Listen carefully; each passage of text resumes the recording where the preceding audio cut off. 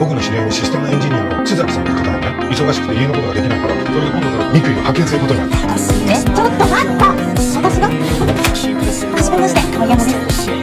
これ今日の僕来週からもお願いする方は部屋の状態を見て決めました音楽一杯でこう引き払うことにした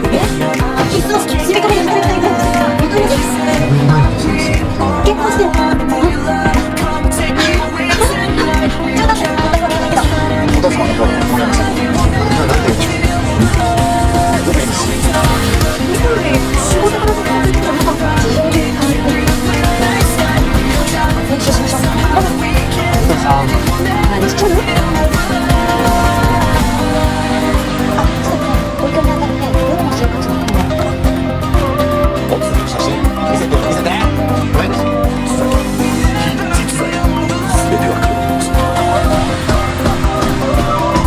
今うちの地図を目にしました。僕は用事があるので先に行きます。後から